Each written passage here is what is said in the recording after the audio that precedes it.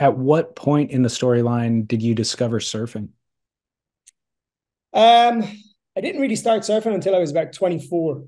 Oh, okay. So yeah, um, I was playing golf with my dad one day in in a place called Strandhill in County Sligo, which is where I live now.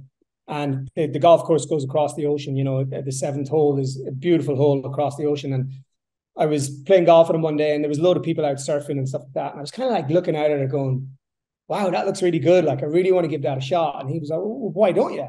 And I was like, "Well, you know, I don't really know how to go about it." So he was like, "Well, why don't you pop down to that fella down in the village there? You know, a guy called Tom Hickey, uh, really old school legend."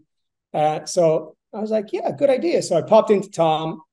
I said, "Listen, I'm really interested in in a surf lesson." And he was like, "Sure, when do you want to go?" And I was like, now, you know, is now a good time? And he was like, yeah, yeah. So he says, you know, give me a half hour or whatever. We get the equipment out. So he pulled out the, the wetsuits and the big foamy boards and stuff like that. And, and out we went. And, you know, he pushed me into a few waves and straight away I was like, wow, this is amazing. Just, just being in the water, I think more than anything. Um, it definitely felt like this is a real enjoyable pastime so then we, we came out of that lesson and I said to him, you know, when can I go again? And he was like, well, next week. And I was like, well, what about tomorrow? You know, and he was like, oh, okay. My wife can take you out tomorrow. So his wife, Simone, took me out the next day. And uh, same thing again. And I came in from that and I was like, all right, I want to book another lesson. And he was like, well, you know, uh, don't really have an awful lot of time. I said, all right, forget about a lesson. Give me that surfboard. Give me that wetsuit. And he was like, really? I don't really know if that surfboard's the right board for you. And I was like, well, it doesn't matter. It'll do you know, obviously having no clue about surfboards whatsoever, not having a notion as to what I was buying.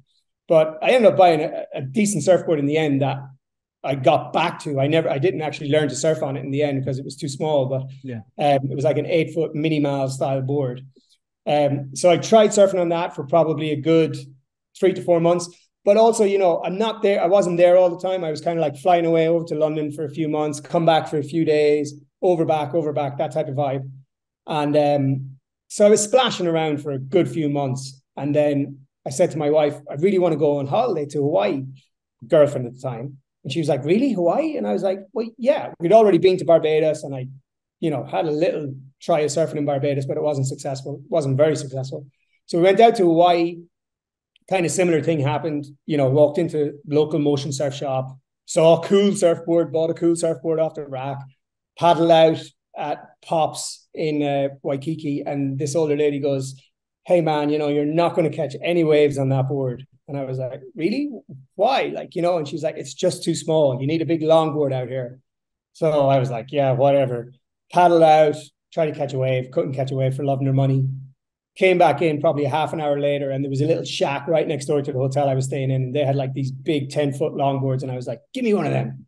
Got one of them, went out, all of a sudden, boom, just started catching waves one after the other. And I was like, wow, this is it. This is this is what it's all about.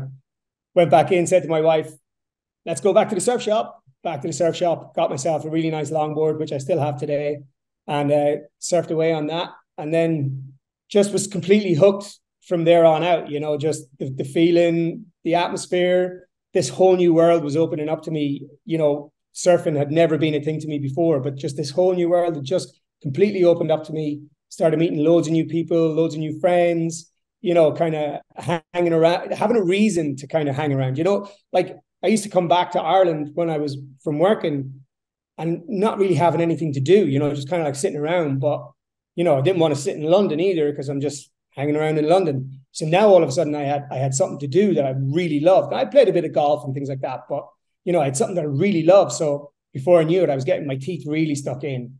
And then as the years rolled on, it's turned into like, you know, surf trips all the way to today, you know?